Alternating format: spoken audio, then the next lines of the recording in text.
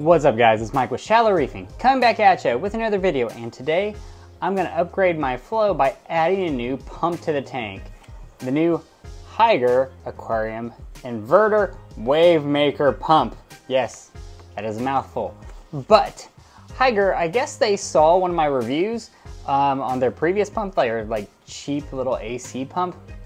I mean, it wasn't a great review. It was just kind of like, hey, it's a pump. Hey, look at this, go buy it. If you want it, it's gonna work. And I guess they were impressed and said, hey, we want you to do a review on this pump that we have. And they contacted me and this is kind of a sponsored video because I got it for free, but as you saw from the last video, I'm not afraid to kind of speak my mind. So I'm gonna do an unboxing, speak my mind, and let you guys know, should you be buying this? All right, so let's open this pump up. This model is HG042, and this is the blue one. It comes in blue and gray. Now, I'm not sure how blue is gonna work, look in the tank, but we're gonna figure it out. And here is the back. You guys can pause it and read it for yourself because all this is on the website. Now, I did ask and they said I can say whatever I want and that, you know, all I have to do is put a link in the video. But I did ask like, you know, I'm worried that this isn't gonna fit on my 19 mil glass. They said for sure that is gonna fit on my 19 mil glass because this goes up to 200 gallons. Let's put it to the test. All right, so you just have the basic controller. I kind of like how it's, it's actually very robust. Um, cool color for the controller. And let's look at the pump. This looks like a pump cover to go over it. You have the 3M double-sided tape.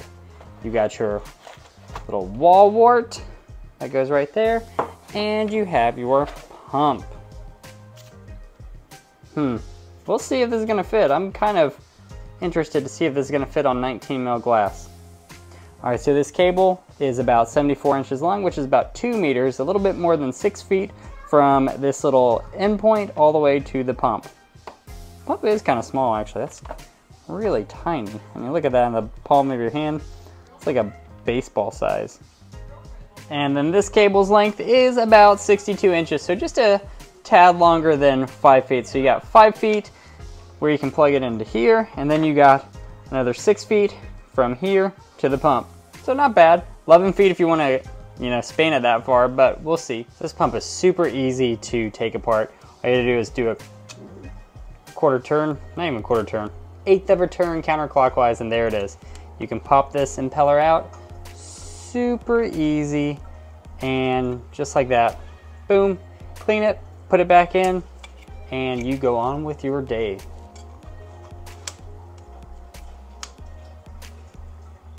All right so i'm gonna be real honest. We'll see how this actually fits on 19 mil glass. Is this going to work? Uh-oh. That doesn't seem like it's gonna hold very well. Uh-oh Ooh, that is a weak hold on that glass. We will see if this is gonna work. All right guys, so if you have a Jebao, you know if you unplug it here, it sparks. So let's see, is it gonna spark?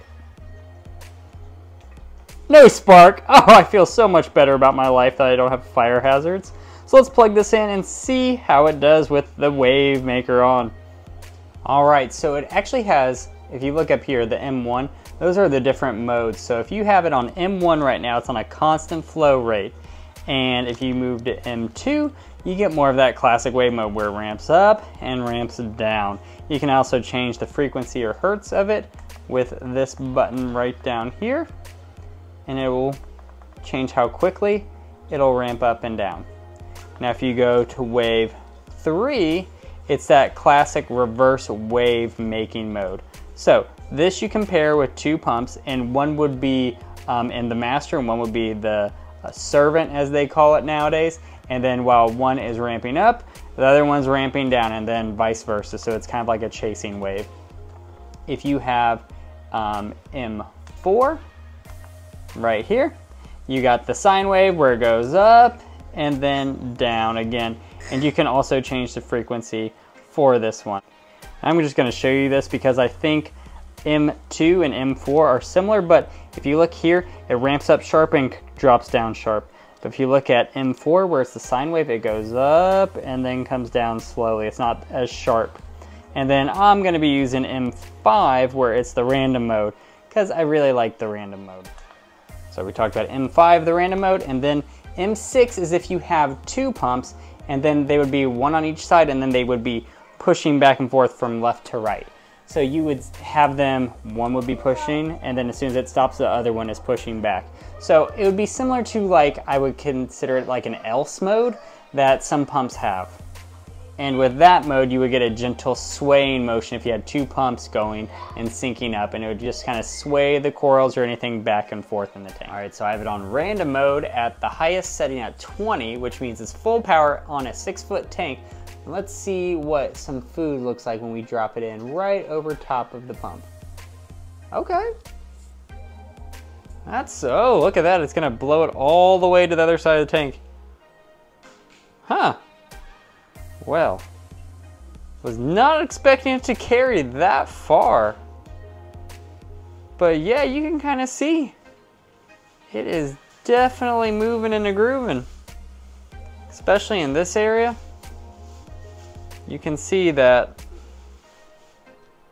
all the food is getting pushed around. All right, so I have a, a bigger angle this time because I was not expecting to go that far. So this is AB plus, and we'll see how it goes as far as carrying across the tank. Okay, yeah, you can kind of see that is definitely a medium angle. It's not a laser beam shooting across, but it is definitely a medium angle. It's not a wide angle for this, but it's carrying it. I mean, I would say that if I were to look at this, it hits its maximum velocity and it's right about there at the three foot mark and then it just slowly pushes it across. But yeah, not bad. That's more than I was expecting for that little pump. So does this pump have enough power to shoot all the way across a six foot tank? Um, probably not. It's definitely going to the middle of the tank and it has pretty good velocity at the middle of the tank. Then after that, it kind of just slowly pushes its way past that middle part. So four foot tank, easily hitting that. And then this would be a good supplemental flow on a six foot tank. If you have like a freshwater tank, yeah, this is all you need. But if you're a saltwater tank, you know, you probably want this on like 180 gallon or less. Um, the 200 gallon, you know, I'd probably have to do multiple of these, but this is definitely gonna be adding some more flow to my tank, for sure. And look at that, you can see like how quickly it's moving across the top, that surface agitation. It's still moving, but you can definitely see it slows down right about there. So around the three and a half, four foot mark. And then everyone wants to know how silent these pumps are. I'm like right up to this. I mean, I'm up to the pump. I can't hear anything. I mean, you can see it's going. I hear nothing. I hear no ramping up, no ramping down. Now, my octopulses, they definitely are bigger, but I can definitely hear those pumps go. I This is dead quiet like dead, dead quiet. It's impressively quiet. Now, is it pu pushing out 3,400 gallons per hour? I don't know, this Octopulse is doing 4,500, but let's see what a competitor is doing and compare the two. All right, so I have the Jebao and the Hygger running right next to each other. Now the Jebao SL W20 is 10,000 liters per hour, which is about 2,600 gallons per hour and then this is 3,400 gallons per hour. So this is actually pushing out much less than this. The Jebao SLW20 is smaller for sure, and the Hygger is slightly bigger, I would say, but they're both extremely quiet. Hmm. And the footprints are very, very, very similar. The only thing with the Hygger is you can't angle it as well as you can with the Jebao. The Jebao has an extra little buffer at the back. You can kind of slightly angle it up and down. And here's a head-on shot of the Jebao compared to the Hygger, compared to the Octopulse 4. So pretty comparable in this dimension as far as size is concerned. Currently I have the Jebao on and the Hygger off, and the Jebao's flow is definitely wider, um, more vertical, and a wider spread, and it definitely peters out here the Hygger pushes slightly farther across the tank in a more narrow stream. I also forgot to mention there's a feed mode on here, which I've been using right now. And if you hold it down for three seconds, it'll last for 10 minutes, just like all the other pumps. All right, initial impressions of the Hygger HG042. Pretty impressive with the strength. I'm not gonna lie, I was not expecting it to push it that far. There's only like one thing I could knock the pump for is its look. Now, most people in the hobby like things that kind of disappear that you're not gonna notice. And if you are looking around my tank, you see some black pumps, you can see a black gyre in the corner, you can see that octopulse over there. It's not really too obtrusive. But then you come over here and you're like, what is that blue pump sticking out here? Now, maybe if you could hide it on the back wall or something, or if got some coralline algae on it, it might blend in a little bit better. That's the only thing I would knock it for. Now, you can get it in gray and you can get it in blue. My preference would be to get the gray. I was just given the blue, but I do like the flow of this. And I do like it has 20 increments that you can increase it, which is way more than my Octopulse, and it's more than my Jebao. So more controllability, which is always a good thing. You can really dial in that flow. And speaking of flow, that's the only pump on in the tank and it's moving this much water right now.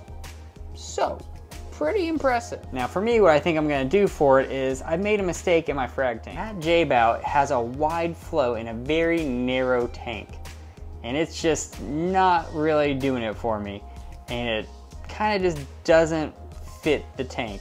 It's just too wide of a flow. It's not really pushing all the way across and the corals aren't really doing as well. I think this new Hygger pump, which has a better, more directional flow, it's not as wide, but it can definitely get all the way across and keep that flow going. I think that's gonna be better in my frag tank. So real quick, this is at one on random mode, and this is the lowest setting, and it is absolutely tearing up this tank and just knocking everything around.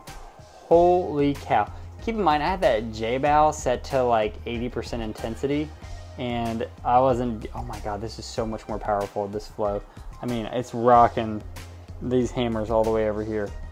Yeah, that's a pretty strong flow. I thought one would be okay. Don't put this in a 20 gallon tank because yeah, it's rocking everything in here. Holy cow. Maybe I'll move this to the bottom? I don't know, that's some strong flow. Honestly, this might be one of the times I want the pump to get dirty because the flow's so insane that I kind of need to throttle it back a bit. All right guys, so that's my overview of the Hygger HG042. Ah, I almost said 9, it was 2. HG042. And I'm pretty impressed with it. Now, it's barely hanging on to this 19 mil glass. I think it will definitely hold on to it, but it's a very tentative hold. Anything less than 19 mil glass is easily gonna make it. Um, they say it's for 75 to 200 gallons. Man, I would have no problem putting this in a 40 gallon, like mixed reef tank or anything. Like if you got anything smaller like that, I would definitely do that for a reef tank. Maybe not in any of those planer tanks, definitely not if you're doing freshwater. Don't really consider doing this in a small tank, definitely 75 and up. But you could definitely put this in a shorter tank and a smaller tank. Actually, I think my old 80 gallon reef would be like perfect for this. So guys, that's all I got for you this time. If you like what you see here and you wanna see more, click the subscribe button, give me a like, give me a comment below, and let me know how you like this video. And as always, I will see you next time.